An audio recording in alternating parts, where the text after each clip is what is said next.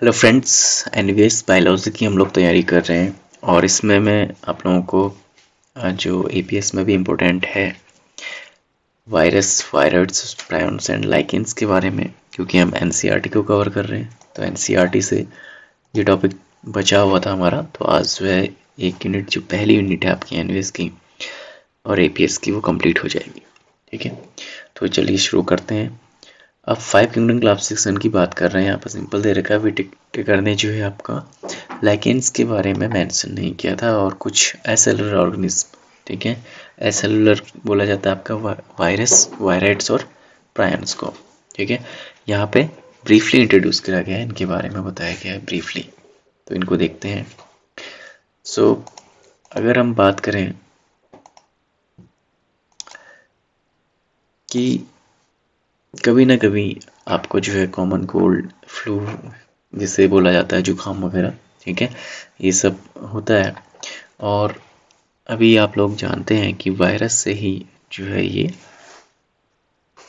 जो भी कोल्ड वगैरह लगता है डिज़ीज़ होती है, ठीक है? अब virus did not find a place in classification they are not considered truly living ठीक है? अब आपके मन में भी क्वेश्चन आया होगा कि वीडियो टेकर ने इसको क्यों नहीं इंक्लूड किया? ठीक है, अपने फाइव किंगडम क्लासिफिकेशन में। तो ये जो है, उस समय इसको लिविंग कहा जाए या नॉन लिविंग कहा जाए, क्योंकि ये दोनों के करेक्टर रखता है। ठीक है? अगर आप उसको if you understand living as those organism that have a cell structure ठीक है? ट्रू लिविंग इनको नहीं कहा जा सकता है। जैसे the virus are non cellular organism that are characterise by having an inert crystalline structure outside the living cell ठीक है? इनकी जो लिविंग सेल है, उसके बाहर क्या होता है? एक इनर्ट क्रिस्टलाइन स्ट्रक्चर मिलता है, ठीक है? सो इनके अगर आप डायग्राम देखें यहाँ पे, इस तरह से, ठीक है? ये बुक में आप देख लीजिएगा, इसमें सिंपल इनका स्ट्रक्चर दे रखा है, एक तो टी का दे रखा है और बैक्टीरियोफेज का। मैंने आपको पहले ही बताया हुआ है, जब भी आप तैयारी करते हैं, जितने भी डायग्राम वगैरह दी गए हैं बायोलॉजी में, उनको अच्छे से आपको देखना होता है बुक में, उनसे भी क्वेश्चन बन जाता है, ठीक है? तो यहाँ पर बैक्टीरियोफेज वायरस अभी आ जाएगा इसमें जो बैक्टीरिया को खाते हैं इसके बारे में। पहले हम इसको डिस्कस कर लेते हैं आगे। फिर यहाँ पर आप देख पा रहे हैं once they infect a cell by taking over the machinery ठीक है of the host cell to replicate them killing the host ठीक है। एक बार जब ये इन्फेक्ट कर लेते हैं किसी भी लिविंग होस्ट को ठीक है? तो उसकी मशीनरी का यूज़ करके, उसकी सेल का यूज़ करके अपने आप को रेप्लिकेट करते हैं, ठीक है? अपनी संख्या बढ़ाते हैं और होस्ट को मार देते हैं। Would you call virus living और नॉन लिविंग ठीक है? अब आप वायरस को लिविंग कहेंगे या नॉन लिविंग कहेंगे? लेकिन अभी आप जानते हैं कि इन्हें क्या कहा जाता है? कनेक्टिव लिंक कहा जाता है दोनों। लिविंग और नॉन लिविंग के बीच की ये क्या है? संयोजी कड़ी है। कैसे? आप इनको क्रिस्ट क्रिस्टलाइन कर सकते हैं, इनके क्रिस्टल्स बना सकते हैं इनको एज ए नॉन लिविंग ठीक है, उनको रखा जा सकता है, लेकिन लिविंग बॉडी में जैसे ये जाते हैं, वहाँ पे ये जो रेप्लिकेशन स्टार्ट कर देते हैं, ठीक है? तो ये दोनों के बीच का कनेक्टिंग लिंक हो गया। और इसमें आप देखेंगे कि जो नेम वायरस है आपका, ठीक है? The name virus that mean venom ठीक है? कहाँ से आए वर्ड वेनम से आया है। और ये किसने दिया था आपका? डिमिट्री इवानोस्की ठीक है? छोटे एग्ज़ाम्स में ज़रूर पूछा जाता है 1892 में। इन्होंने रिकॉग्नाइज किया कि कुछ माइक्रोब्स हैं। ठीक है? कॉजल ऑर्गेनिज्म को कहा जाता है, जो करते हैं मोजाइक डिज़ीज़ ऑफ़ टोबैको और these were found to be smaller than bacteria because they pass through bacteria proof filters ठीक है? ये बैक्टीरिया प्रूफ फ़िल्टर से भी पार हो जाते हैं, इसलिए इसलिए क्या कह सकते हैं, ये बैक्टीरिया से भी स्मॉल होते हैं। ठीक है? इनकी खोज वगैरह के बारे में आप हायर क्लासेस में पढ़ चुके होंगे। ऐसे ही, क्योंकि अभी हम एन कवर कर रहे हैं तो बहुत ज़्यादा डिटेल में नहीं जाऊँगा। अब एम डब्ल्यू बेंजरिक ने 1898 में क्या किया? डेमोस्ट्रेट किया। इन्होंने एक्सट्रेट किया इन्फेक्टेड प्लांट्स को टोबेको को, ठीक है? जो इन्फेक्शन करते थे हेल्थी प्लांट्स में, उनको कहा जाए कहा fluidus contagium venom fluidum infectious living fruit ठीक है? एक फ्रूट का पता लगाया उन्होंने, जो इन्फेक्ट करता था हेल्थी हेल्थी लीव्स को भी। फिर स्टेनले ने क्या किया? 1935 में। Showed that virus could be crystallise and crystal consist largely of proteins ठीक है? इनको आप क्रिस्टलाइज कर सकते हो और जो इनके क्रिस्टल्स होते हैं प्रोटीन से बने होते हैं, ये क्या होते हैं? इनर्ट होते हैं आउटसाइड द होस्ट सेल ठीक है? वायरस आर ऑब्लिगेट पैरासाइट और अब जैसा कि आप देख पा रहे हैं, ये होस्ट सेल से बाहर इनर्ट होंगे।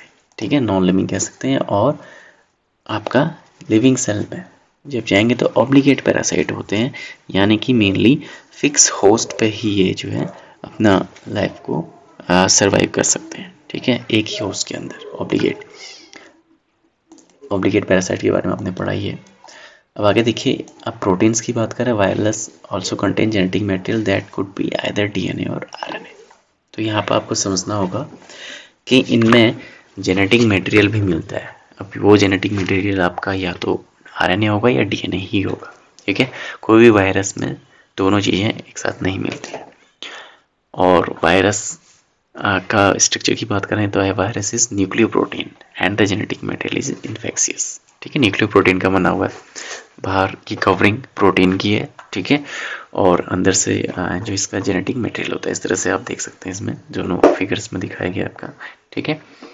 ये सिंगल स्टैंडर्ड इसमें R N A double stranded R N A है और आपका कैप्सिड्स हैं ठीक है? कैप्सोमेर के बने अभी आ जाएगा इसमें डिटेल इनकी।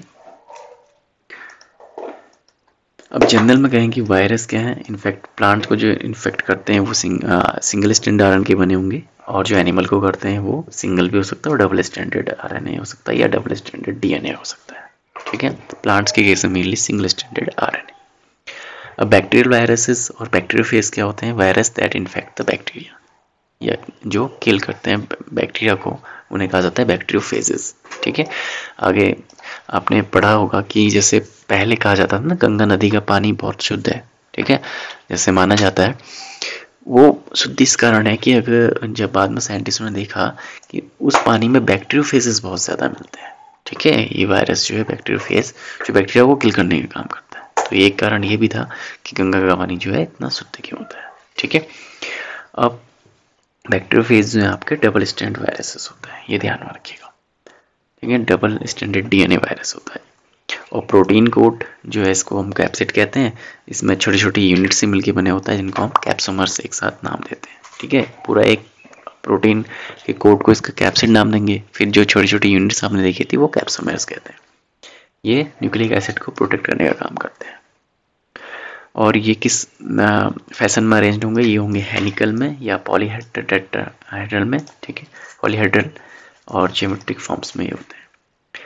ये डिज़ीज़ करते हैं mumps smallpox herpes influenza ठीक है? AIDS in human also cause by virus in plants the symptom can be mosaic formation ठीक है? लीफ रोलिंग है कर्लिंग होती है लीफ की, आपने देखे होंगे। येलोइंग होता है, ठीक है?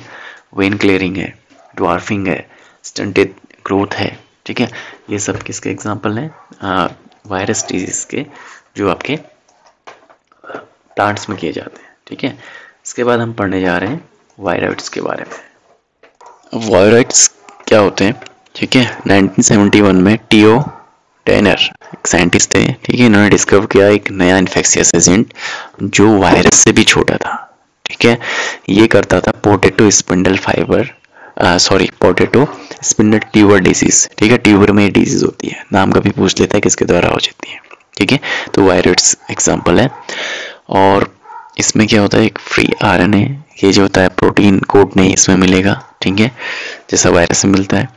इसलिए इसको वायरॉइड बोलता है, ठीक है? विदाउट प्रोटीन ठीक है? वायरॉइड और आरएनए जो होता है वायरॉइड का, वो लो मॉलिकुलर वेट का होता है। ठीक है? ये थोड़ा सा जनरल आपको दे रखे लेकिन इनसे कभी एक दो नंबर के क्वेश्चन बन जाते हैं तो इसको ज़रूर अच्छे से देखेगा अब प्राइम्स की बात करें तो प्रायंस क्या होते हैं? Modern medicine certain infectious neurological disease were found to be transmitted by an agent consisting of abnormally folded protein ठीक है?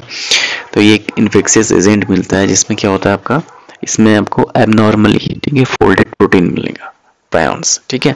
ये मेनली आपने देखा होगा आजकल जो है, ऐसे जैसे बुढ़ापे में देखा होगा आपको मेनली भूलने की बीमारी या, क्योंकि जैसे कहते हैं ना ब्रेन में प्रोटीन जब इकट्ठा होने लगता है, ठीक है? ऐसे ही है तो ये अभी एनिमल डिज़ीज़ है, लेकिन यहाँ पे इस तरह से उसमें खोज की जा रही है साइंटिस्ट के द्वारा, ठीक है? तो इनका भी साइज़ जो है आपका वायरस से छोटा है और इनको आप प्रायंस कहते हैं। Most notable disease caused caused by prions are bovine ठीक है? Spongiform encephalopathy BSE ठीक है? Called mad cow disease in cattle and its analogous to variants सी आर चेकअप डिज़ीज़ इन ह्यूमंस ठीक है? तो सी आर जेकअप डिज़ीज़ जो मैं आपको बता रहा था ह्यूमंस में, ये इसी की एनालॉग है, ठीक है? उसी के अपोजिट इफ़ेक्ट इसमें देखने को, उसी के समान है, उसी के जैसे इफ़ेक्ट देखने को मिलते हैं, जो मेडकाउ डिज़ीज़ में देखने को मिलते हैं। तो ये आपसे पूछा जा सकता है, ठीक है? दो एग्ज़ाम्पल आपको दिए हैं, कुछ भी पूछा जा सकता है इसमें से। लाइकेंस तो आप बहुत पढ़ चुके हैं पहले भी, ठीक है? लाइकेंस इजीली मैं समझता हूँ कि आप लोग कर लेंगे इसको। लाइकेंस में आपका सिम्बायोटिक एसोसिएशन होता है किसका? आपका फंजाई और एल्गी का ठीक है? एल्गल कंपोनेंट को बोलते हैं फाइकोबियंट और जो फंगल कंपोनेंट है उसको माइकोबियंट बोलते हैं। दोनों इसमें एल्गी ऑटोट्रॉफिक हो गया और आपका जो फंगाई है फं, या फंजाई है फंगस है वो आपका हेडोट्रॉफेस है ठीक है?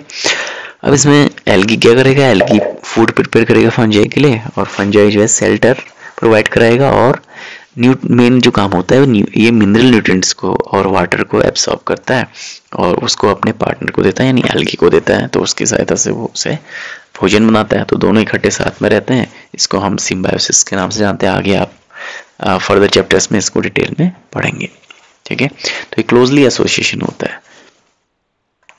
और लाइकिन्स इसके अलावा आपका बहुत अच्छे इंडिकेटर होते हैं पॉल्यूशन के। ठीक है? पॉल्यूशन इंडिकेटर होते हैं। कहीं पे भी प्रदूषण वगैरह होता है, जैसे शहरों में आपको लाइकिन देखने को ही नहीं मिलेगा। जंगल में जाएँगे, बहुत सारे लाइकिन लगे रहेंगे, जहाँ पर हरियाली है, बहुत अच्छे मतलब जहाँ की भी एयर साफ़ होगी, ठीक है? इसलिए कह रहे हैं कि गुड पॉल्यूशन इंडिकेटर है, यानी कि ये पॉल्यूटेड एरियाज़ में ग्रो नहीं करते मेनली जहाँ पर एयर पोल्यूशन मिलता है ज़्यादा, ठीक है? तो उम्मीद करता हूँ इस तरह से हमारी यूनिट कंप्लीट हो गई है एन में, और आगे भी मैं वीडियो लाता रहूँगा। मिलते हैं आपसे नेक्स्ट वीडियो में। Thank you